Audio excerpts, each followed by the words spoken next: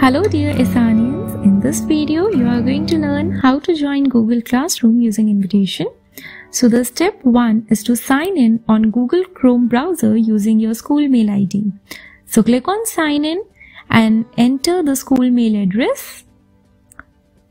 Click on next, enter the school mail ID's password. Click on next and now the second step is to enter the URL classroom.google.com in the address bar. This window is going to appear where you will be having the invite from your class. Click on join.